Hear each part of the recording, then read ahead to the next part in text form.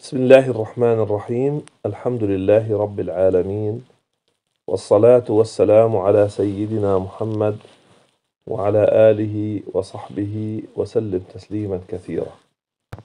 في هذه الفترة كانت الجماعة المسلمة في المدينة قد استقرت بعض الاستقرار في موطنها الجديد في مدينة الرسول صلى الله عليه وسلم. ومضت خطوة وراء الموقف الذي صورناه من قبل في هذا الظلال في مطلع استعراض سورة البقرة. كانت غزوة بدر الكبرى قد وقعت وكتب الله فيها النصر للمسلمين على قريش. وكان هذا النصر بظروفه التي تم فيها والملابسات التي أحاطت به تبدو فيه رائحة المعجزة الخارقة. ومن ثم اضطر رجل كعبد الله ابن ابن أبي بن سلول من عظماء الخزرج أن ينزل عن كبريائه وكراهته لهذا الدين ونبيه صلى الله عليه وسلم وأن يكبت حقده وحسده للرسول الكريم وأن ينضم منافقا للجماعة المسلمة. وهو وهو يقول في نفسه هذا أمر قد توجه أي ظهرت له وجهة هو ماض فيها لا يرده عنها راد. بذلك وجدت بذرة النفاق في المدينة أو نمت وأفرخت. فقد كان هناك قبل بدر من اضطروا لمنافقة أهلهم الذين دخلوا في الإسلام. وأصبحت مجموعة من الرجال ومن ذوي المكانة فيهم مضطرة إلى التظاهر بالإسلام والانضمام إلى المجتمع المسلم. بينما هي تضمر في أنفسها الحقد والعداء للإسلام والمسلمين. وتتربص بهم الدوائر وتتلمس الثغرات في الصف وتترقب الأحداث التي تضعضع قوى المسلمين أو تزعزع الصف المسلم ليظهروا كوامن صدورهم أو ليضربوا ضربة الإجهاز إذا كان ذلك في مكنتهم. وقد وجد هؤلاء المنافقون حلفاء طبيعيين لهم في اليهود الذين كانوا يجدون في أنفسهم من الحقد على الإسلام والمسلمين وعلى نبي الإسلام عليه الصلاة والسلام مثل ما يجد المنافقون بل أشد. وقد هددهم الإسلام تهديدا قويا في مكانتهم بين الأميين من العرب في المدينة وسد عليهم الثغرة التي كانوا ينفذون منها للعب بين الأوس والخزرج بعدما أصبحوا بنعمة الله إخوانا وفي ظل الإسلام صفا واحدا مرصوصا.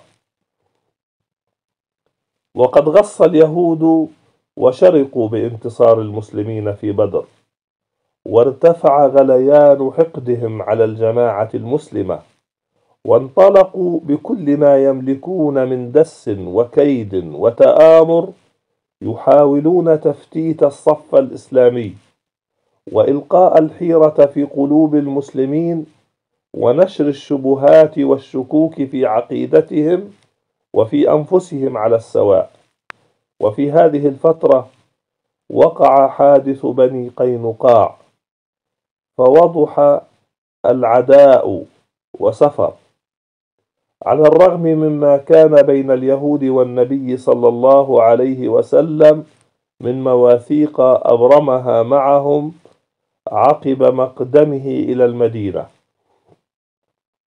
كذلك كان المشركون موتورين من هزيمتهم في بدر يحسبون ألف حساب لانتصار محمد صلى الله عليه وسلم ومعسكر المدينة وللخطر الذي يتمثل إذا على تجارتهم وعلى مكانتهم وعلى وجودهم كذلك. ومن ثم يتهيئون لدفع هذا الخطر الماحق قبل أن يصبح القضاء عليه مستحيلا.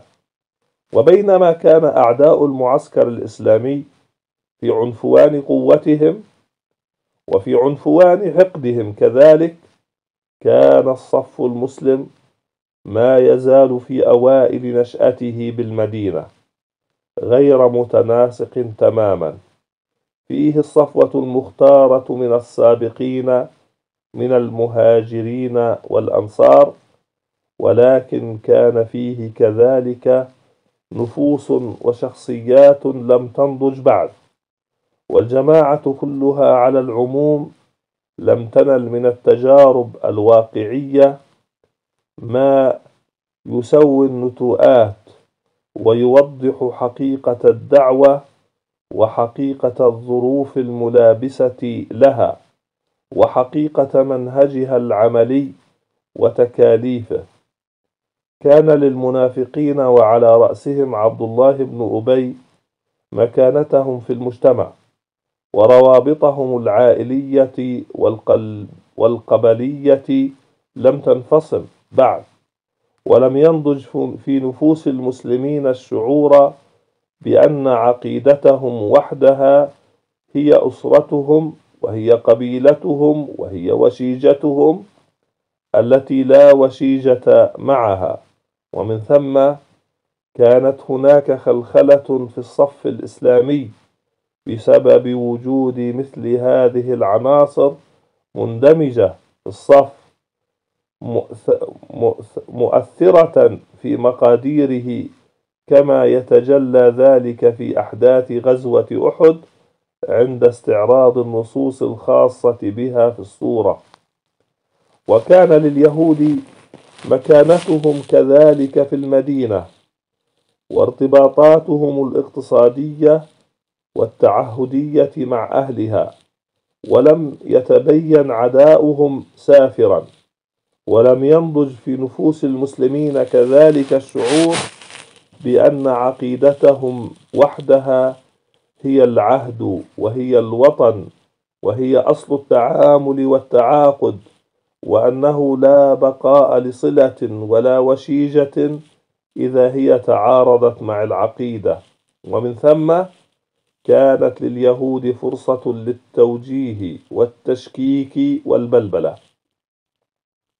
وكان هناك من يسمع لقولهم في الجماعة المسلمة ويتأثر به وكان هناك من يدفع عنهم ما يريد النبي صلى الله عليه وسلم وأن ينزل بهم من إجراءات لدفع كيدهم عن الصف المسلم كما حدث في شفاعة عبد الله ابن أبي في بني قينقاع وإغلاظه في هذا للرسول صلى الله عليه وسلم. ومن ناحية أخرى كان المسلمون قد انتصروا في بدر ذلك النصر الكامل الباهر بأيسر الجهد والبذل. فقد خرج ذلك العدد القليل من المسلمين غير مزودين بعدة ولا عتاد إلا اليسير. فلاقوا ذلك الجحفل الضخم من قريش في عدتهم وعتادهم. ثم لم تلبث المعركة أن انجلت عن ذلك النصر المؤزر الباهر. وكان هذا النصر في الوقعة الأولى التي يلتقي فيها جند الله بجند الشرك قدرا من قدر الله. ندرك اليوم طرفا من حكمته ولعله كان لتثبيت الدعوة الناشئة وتمكينها.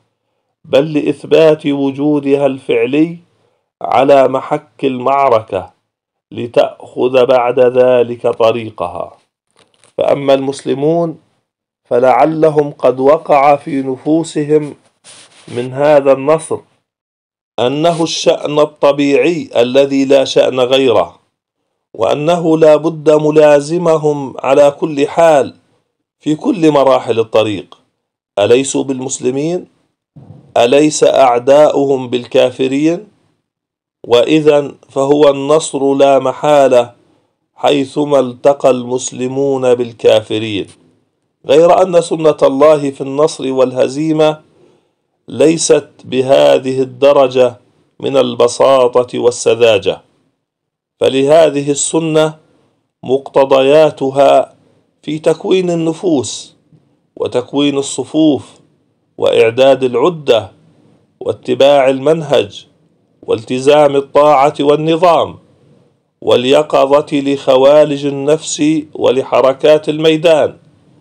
وهذا ما أراد الله أن يعلمهم إياه بالهزيمة في غزوة أحد على النحو الذي تعرضه الصورة عرضا حيا مؤثرا عميقا وتعرض أسبابه من تصرفات بعض المسلمين.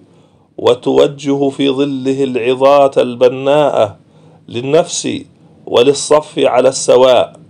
وحين نراجع غزوة أحد نجد أن تعليم المسلمين هذا الدرس قد كلفهم أهوالا وجراحات وشهداء من أعز الشهداء على رأسهم حمزة رضي الله عنه وأرضاه.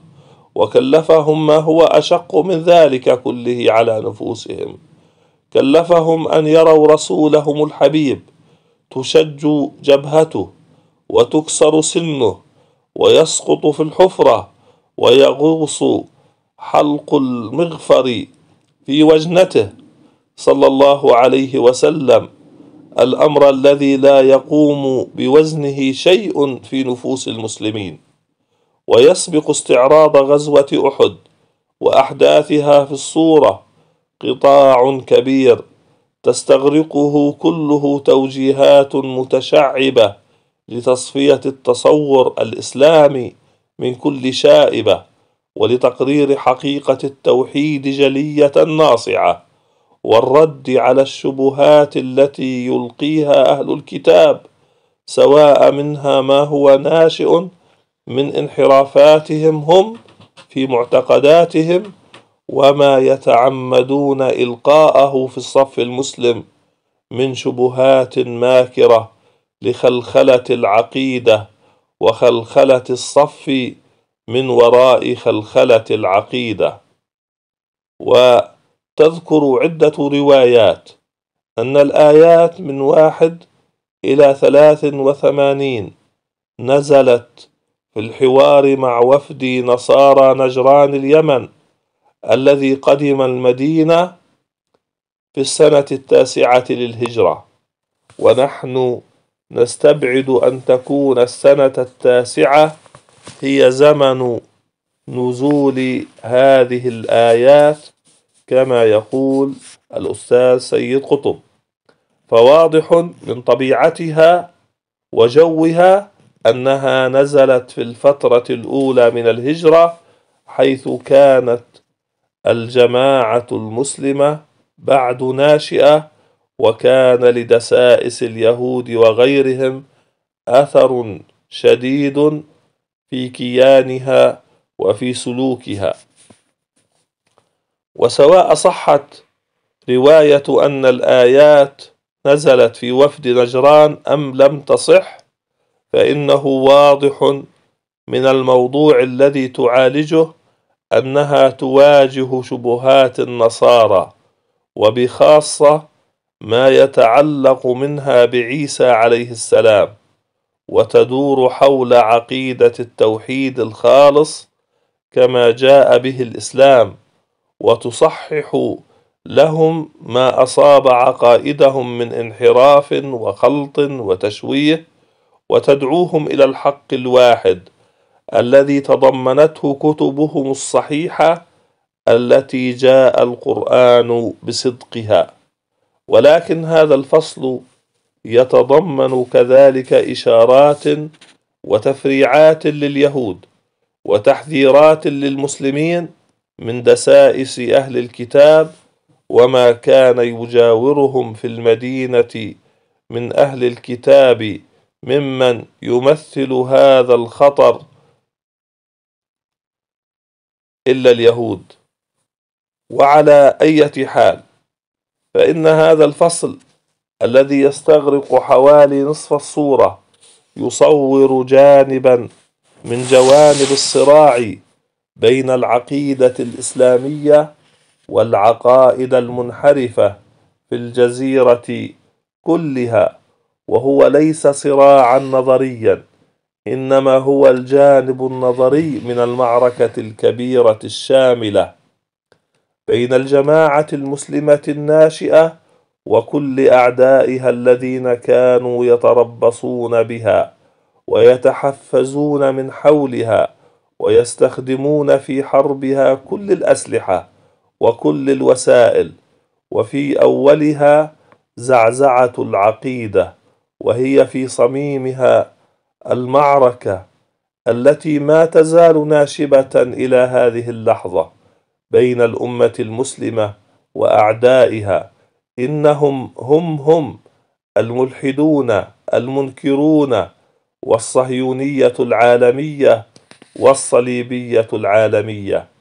ومن مراجعة نصوص الصورة يتبين أن الوسائل هي الوسائل كذلك. والأهداف هي الأهداف. ويتجلى أن هذا القرآن هو قرآن هذه الدعوة ومرجع هذه الأمة اليوم وغدا. كما كان قرآنها ومرجعها بالأمس في نشأتها الأولى وأنه لا يعرض عن استنصاح هذا النصح واستشارة هذا المرجع في المعركة الناشبة اليوم. إلا مدخول يعرض عن سلاح النصر في المعركة ويخدع نفسه أو يخدع الأمة لخدمة أعدائها القدامى المحدثين في غفلة بلهاء أو في خبث لئيم اللهم علمنا ما ينفعنا وانفعنا بما علمتنا وزدنا علما وصل اللهم وسلم وبارك على سيدنا محمد وعلى آله وصحبه وسلم تسليما كثيرا. والسلام عليكم ورحمة الله تعالى وبركاته.